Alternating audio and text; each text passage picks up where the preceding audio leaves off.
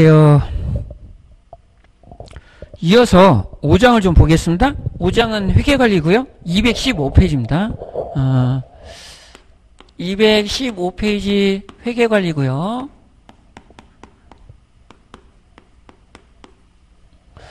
우리가 이제 회계관리는 이렇게 보실 수가 있을 것 같아요. 이제 아파트가 뭐 어디나 무슨 사업을 시작한 간에 그 재무 관련해서는 뭐 항상 돈을 써야만이 뭐 무슨 일을 할 수가 있으니까 어 회계 관리는 그때마다 이렇게 필요하겠지만 우리가 이렇게 보시면요. 어 아파트도 마찬가지로 이렇게 사업 계획 승인을 받아서 우리가 이제 사업을 시작해요. 그러면 우리가 이제 대지 조성 사업을 뭐 10만 제곱 몇 방미터 이상은 대지 조성 사업을 하고 또 우리가 사업계획 승인 대상의 공동주택은 30세대 이상이면 공동주택을 이렇게 그 사업계획 승인을 받죠. 그래서 이제 예전에는 20세대였는데 30세대로 좀 이렇게 바뀌었고 그것도 그 대지 조성 사업도 1만에서 10만으로 이렇게 바뀌었죠. 그래서 최근에는 이제 어 다 이렇게 완화가 조금 됐다고 봐야 되죠. 그래서 이렇게 해서 사업계획 승인을 받아서 요 공사를 시작을 했어요. 그래서 입주를 이렇게 받기 시작해요. 그러면 입주를 받기 전에 여기 이제 선투입이 좀 되는 기간이 있고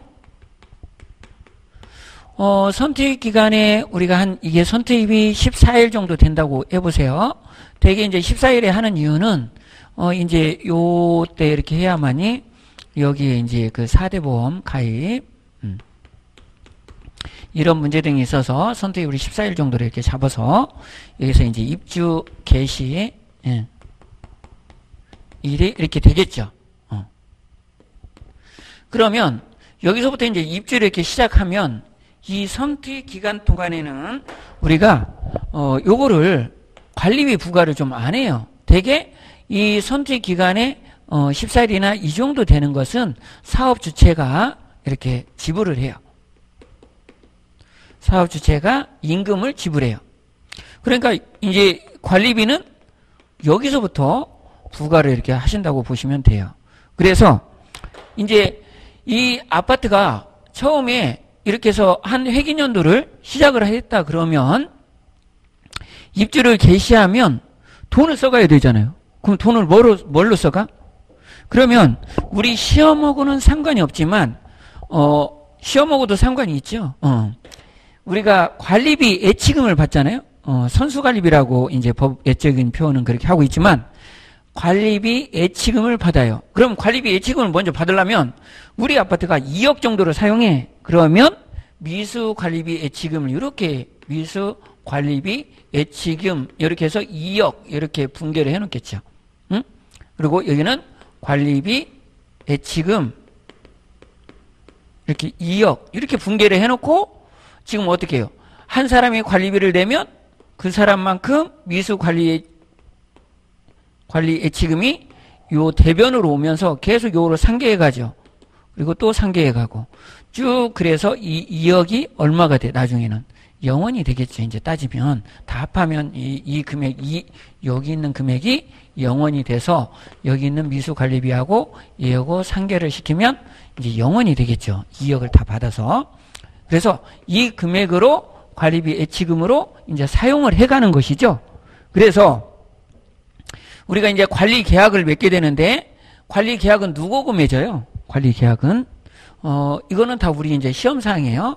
관리 계약은 입주 예정자하고 이렇게 맺죠. 그래서 입주 예정자가 가반수 이상 입주를 해서 들어온 사람이 전부 다 사인을 했다면 그때 관리 계약이 돼버리는 거예요. 그 관리 계약에서 우리가 관리비 예치금을 이렇게 받는 걸로 결정을 하는 거예요. 그래서 관리비 예치금을 우리가 이제 받는다. 그렇게 보시면 되겠고.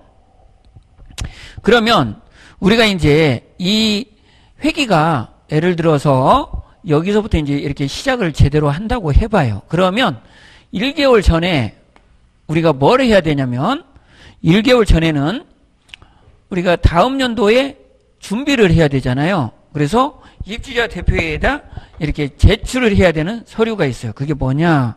그러면 이건 예산서예요. 예산서. 그리고 사업 계획을 사업 계획을 이렇게 사업 계획서, 사업 계획을 이렇게 짜게 되고 어, 여기에 또 준해서 사업 계획에 쓸 비용 같은 거 이런 거를 예산을 하게 돼요. 그래서 예산서를 제출하게 돼요. 그걸 언제까지 하느냐? 이 회계 종료일 1개월 전까지 우리가 입대기에 제출을 해야 돼요. 지금 어, 그렇게 제출을 하면 우리가 이제 그 회계가 시작되면 이 예산서에 의해서 우리가 집행을 해갈 거예요. 그러면 이게 이제 1년이 이렇게 딱 되잖아요. 그래서 어 1년이 이렇게 딱 되면 이게 회계가 종료가 됐어요. 종료. 종료가 되면 이 종료가 된 2개월 이내에 이내에 우리가 결산서를 내야 돼. 결산. 그리고 사업 실적. 음.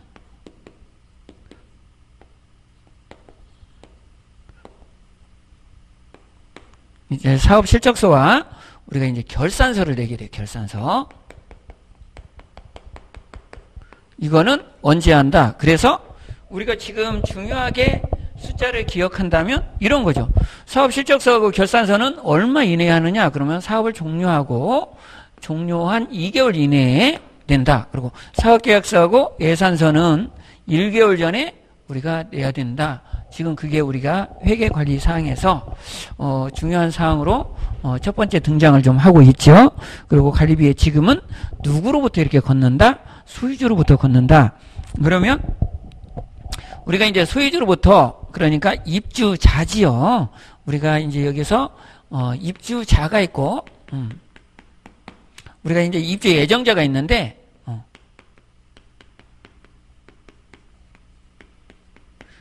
말 그대로 입주 예정자예요. 그래서 입주가 예정되어 있는 사람을 입주 예정자라고 해요.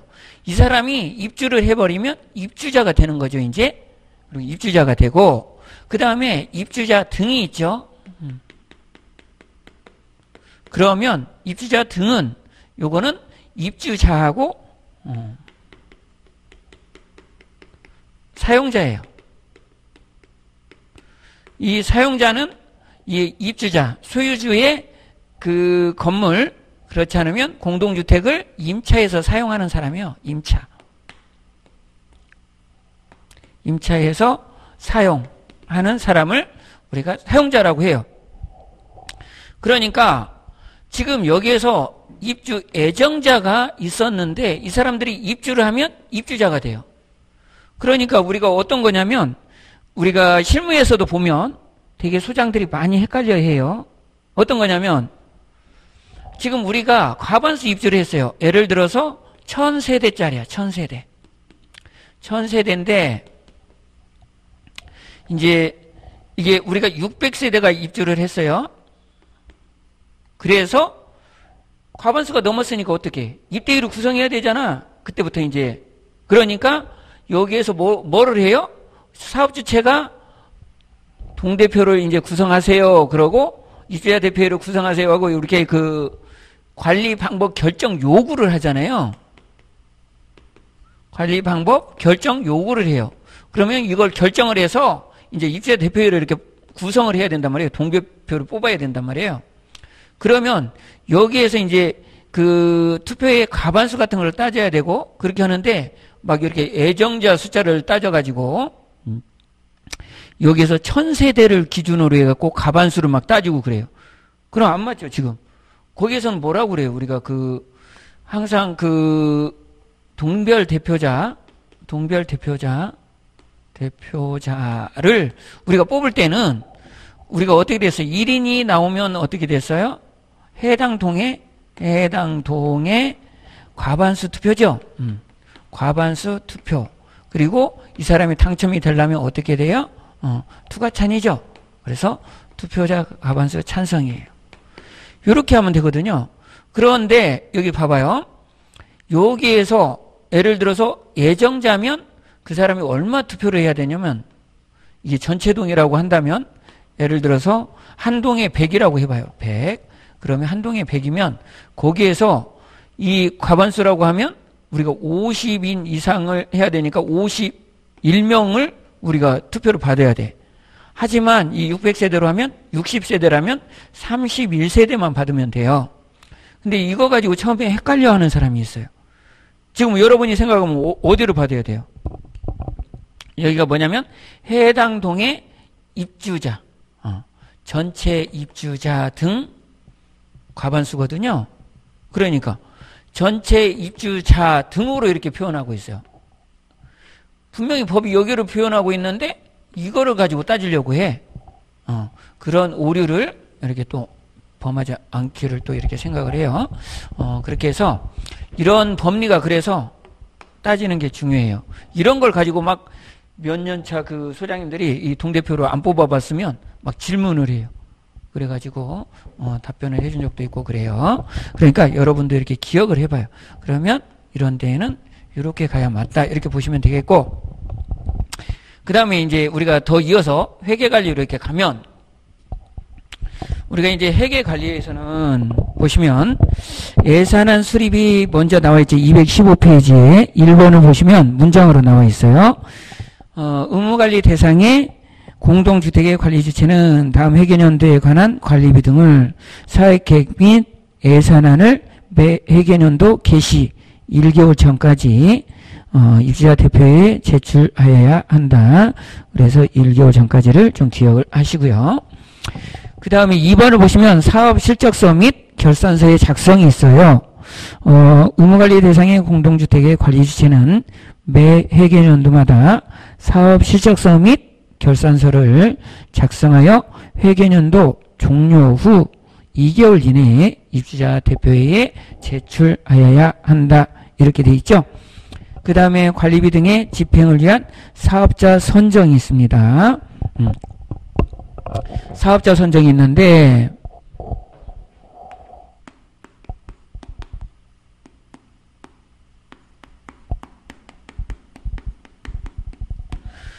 우리가 사업자 선정은 어떻게 해요?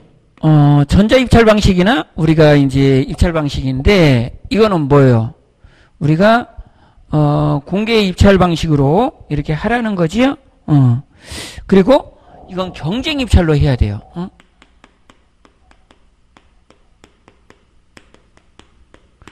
경쟁 입찰을 하는데 이제 공개 입찰 방식으로 이렇게 하는 거죠. 음. 그래서 공개 입찰이다.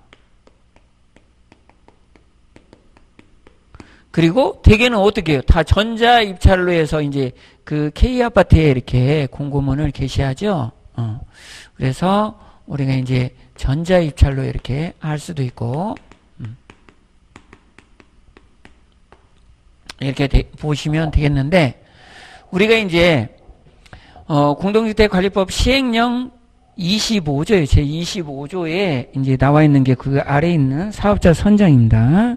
그래서 사업자 선정은 그 관리 주체가 사업자를 선정하고 집행하는 각 항목 그래서 여기를 보시면 관리 주체가 사업자를 선정하고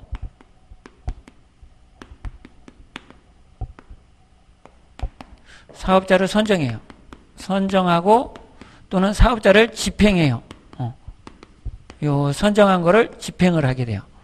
이게 이제 그 우리가 1호에 나와 있는 사항이에요. 이건 뭘 이렇게 하느냐? 그러면 우리가 청소 관련해서도 이렇게 하는 거고 경비 관련해서도 우리가 계약을 할 때 다 이걸 관리 주체가 하는 거예요. 그리고 승강기 유지, 어.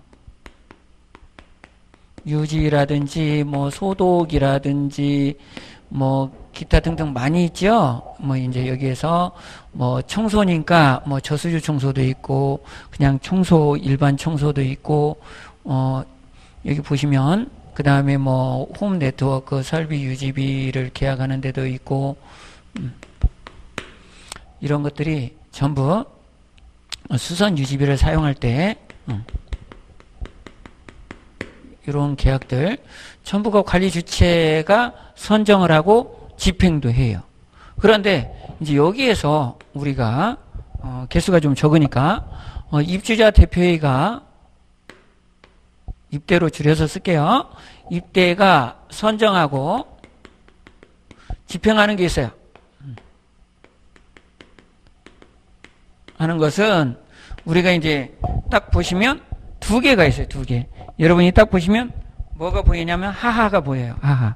그래서 이 하하가 보이는데 하하가 뭐냐? 그래서 이 이제 입대위가 가장 이제 많이 이렇게 신경을 쓰고 있는 게 어떻게 보면 이거죠. 그래서 하자 보수 보수 음, 이게 이제 어 이제 하자 보수 우리가 비용이 있는데 하자 보수 보증금이 있어요. 보증금 보증금이 있고 비용이 있어요. 비용 이제 요 두 개를 이렇게 사용하는데 어, 우리가 이런 게 있죠. 어, 그래서 보시면 이게 이제 유주자 대표회가 어, 선정하고 집행하는 것이고 그 다음에 또 뭐가 있냐면 입대위가 선정하고 어, 그 다음에 관리 주체가 어, 입대 선정 관리 주체가 집행하는 게 있어요.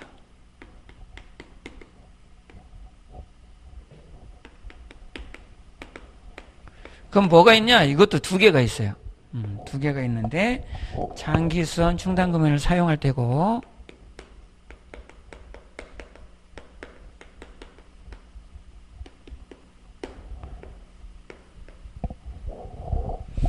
그 다음에 안전점검 비용 있죠? 어, 그리고 안전진단 우리가 어,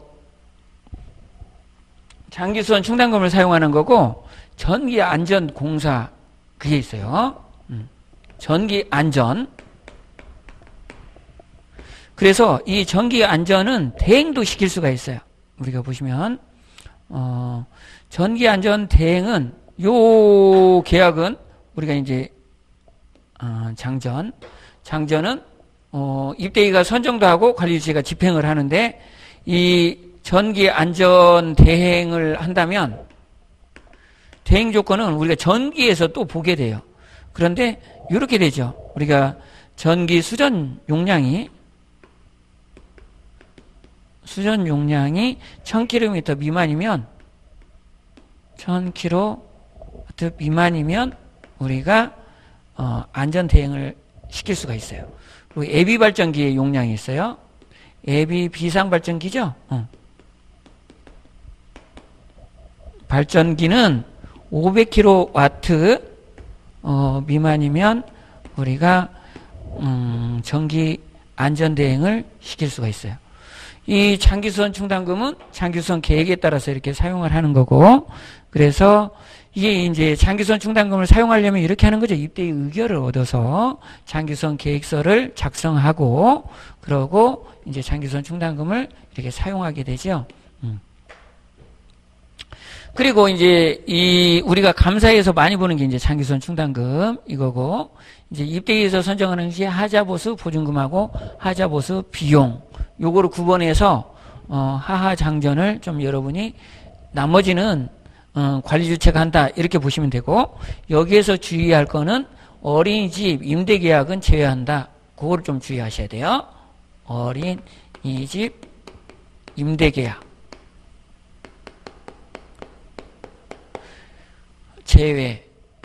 그러니까 여러분이 이제 깜빡 넘어가는 게 관리 주체가 나머지로 다 하다 보니까 어린이집 뭐 임대 계약 이런 걸 포함해서 이렇게 서술을 하면 그냥 이제 속아 넘어갈 수도 있죠. 그래서 요 부분이 제외된다. 이런 부분도 이렇게 여러분이 확인을 하셔야 되겠다. 그렇게 봅니다. 그러면 우리가 이제 사업자 선정까지를 이렇게 좀 보셨고요. 음.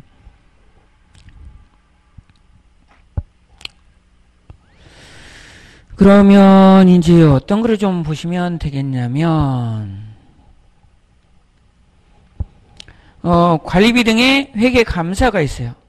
이 회계 감사는 우리가 몇 세대 이상이면 회계 감사를 받아야 돼요? 300세대 이상이면 회계 감사를 받아야 돼요.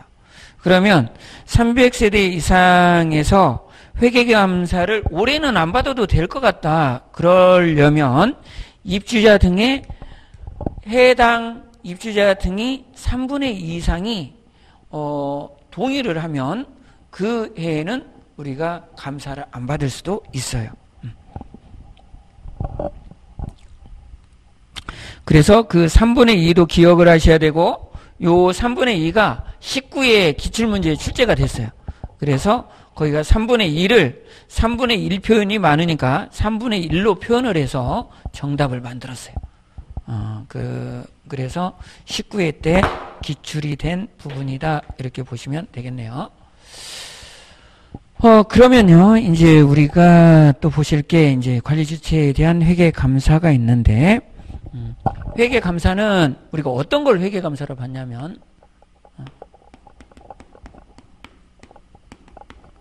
회계 감사는 우리가 이제 이런 것들을 좀 받을 수가 있어요. 음. 회계 감사는 우리가 회계 종료 후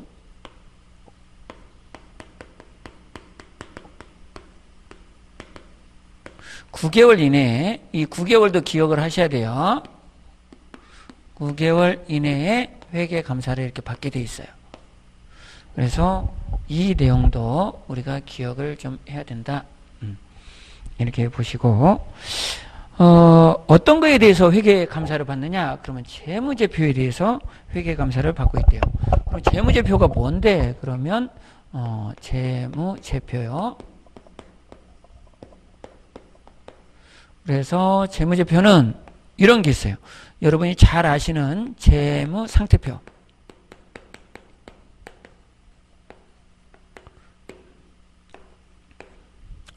이제 재무상태표야 뭐 재무상태를 나타내는 표이죠. 뭐. 그리고 우리가 뭐가 있나요? 운영성과표가 있죠. 여러분들은 어떻게 손익계산서라고 많이 얘기를 했는데 손익계산서가 우리 관리 회계 기준에는 운영성과표 이렇게 표현이 되고 있어요. 그래서 운영성과표 그리고 또 뭐가 있나요? 음. 이익, 잉여금, 처분, 계산서가 있죠? 또 뭐가 있어요? 여기에서 결손이 나면 뭐예요? 결손금, 처리, 계산서가 있죠? 그리고 4번을 보시면 주석이 있어요, 주석. 그리고 우리가 예전에는 5번에 뭐가 있었어요? 현금 흐름표가 있었죠?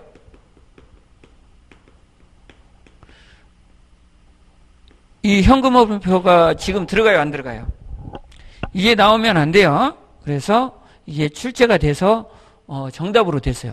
재무제표가 아닌 것은. 그래서 여기는 출제가 잘 되고 있어요. 이 안에는. 어떻게 보면 출제 파셔. 어, 그냥 쉽게 여러분들이 득점을 할 수 있는 거. 그러면 우리 회계감사를 받는 것 중에서 어떤 걸 받느냐? 그리고 재무제표를 가로를 어, 쳐놓고 이 재무제표를 네가 쓸 수 있니? 이렇게 했어요. 이 재무제표는 봐보세요. 쉬운 편인데 제자가 아이제자야. 어? 그리고 제자가 어이제자예요. 어?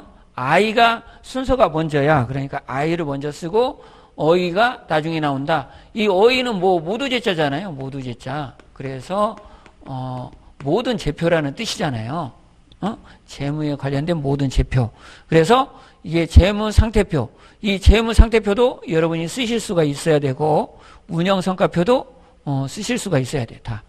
이건 하나하나 어, 이익잉여금 처분 계산서, 주석. 지금은 이제 상대 평가로 와서 어, 우리가 그 기업 회계 기준이 아니라 공동주택 관리 회계 기준에 의하여 회계 감사 사항인 재무제표 4개를 서술하여라. 이렇게 해도 지금은 이제 조금 뭐 주관식으로 좀 길게 해서 이 4개를 쓰라고 한다고 그래서 뭐 문제될 것도 없고 아니면 이 두 개를 써놓고 이 두 개를 써라 아니면 이렇게 써놓고 나머지 재무제표를 채워라 이렇게 해도 여러분이 다 채울 수가 있어야 되니까 여기는 이익잉여금 처분계산서 주석 이런 거를 다 적을 수가 있어야 돼요. 음. 그래서 여러분이 어, 이 습득을 좀 하셔야 되고 그 다음에 이제 2번을 보시면 재무제표를 작성하는 회계처리 기준은 국토교통부 장관이 정하여 고시한다. 그러고 이제 감사인이 우리가 이제 회계감사를 이렇게 하잖아요.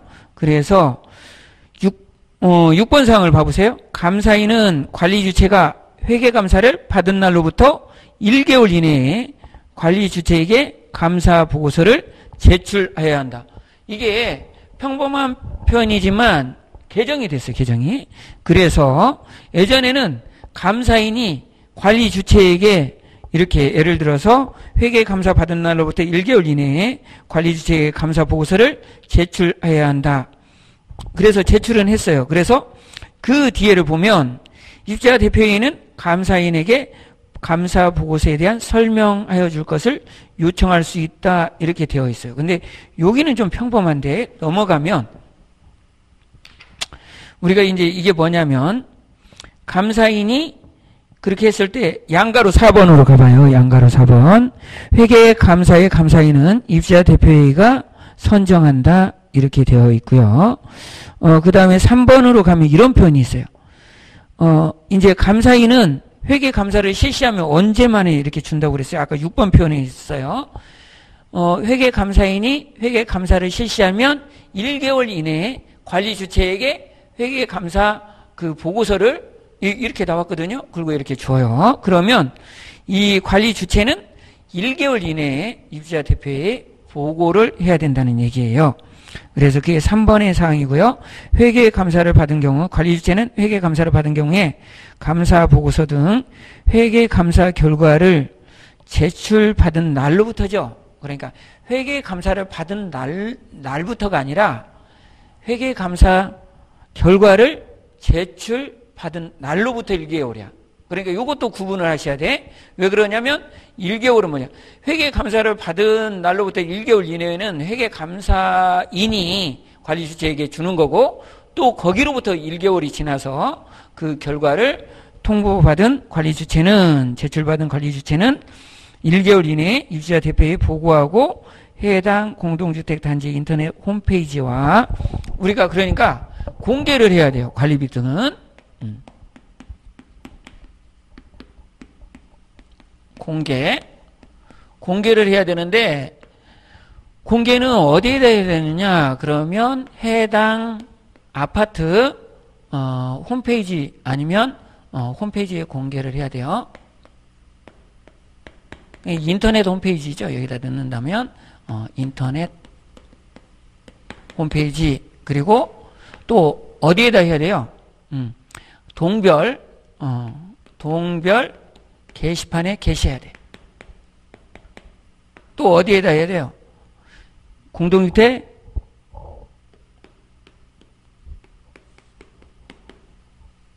관리 정보 시스템에 공개해야 돼요. 이게 이제 ABCD로 이렇게 ABC로 이것도 이제 개정사항이에요. 그래서 세 개 다 이렇게 공개를 해야 된다. 그래서 해당 그 인터넷 홈페이지 아파트 해당 아파트 인터넷 홈페이지하고 동별 게시판하고 공동주택 관리 정보 시스템에 넣어야 되는데 이 동별 게시판에는 어 이제 라인별로 또 게시판이 있는 경우에는 라인별로 어, 라인별 게시판에도 게시를 해야 된다. 음, 이렇게 보시면 되겠네요. 음. 그래서 이제 회계서류의 작성, 보관, 공개가 있잖아요. 회계서류 이것도 이렇게 출제가 좀 됐죠. 우리가 이제 20회인가 이렇게 출제가 됐어요. 그래서 아까 관리비는 우리가 몇 년 보관한다고 그랬죠? 관리비? 관리비 관련 서류. 어. 는 우리가 5년 보관한다고 그랬어요. 어, 5년 보관은 요거는 이제 우리가 시험에도 이렇게 나왔는데 어, 그 정도로 이렇게 좀 중요하다는 거죠. 오관중 그랬죠? 그래서 관리비하고 퇴직금 중간정산이 5년 보관을 이렇게 한다고 우리가 이렇게 봤습니다. 음. 어, 그리고요, 우리가 이제 열람 대상 정보 범위가 있고, 어, 계약서의 공개가 있어요. 그 6번을 보시면, 어, 의무관리 대상의 공동주택 관리 주체는 또는 입주자 대표인은 선정한 주택관리업자 또는 사업자와 계약을 체결한 경우에는 그 체결일로부터 1개월 이내에 그 계약서를 해당 공동주택 단지 인터넷 홈페이지에 공개해야 한다. 이것도 공개는 뭐 세 군데 다 이렇게 해야 돼요. 음. 어, 이 공동주택 관리 정보 시스템은 우리가 K아파트라는 것이죠. 어, 거기에다가 우리가 이제 국토교통부 장관이 구축을 해요. 그럼 거기에다 다 등록을 하면 됩니다. 음. 어, 여기까지 좀 봤고요. 잠시 쉬었다가 이어서 보겠습니다. 여러분 수고하셨습니다.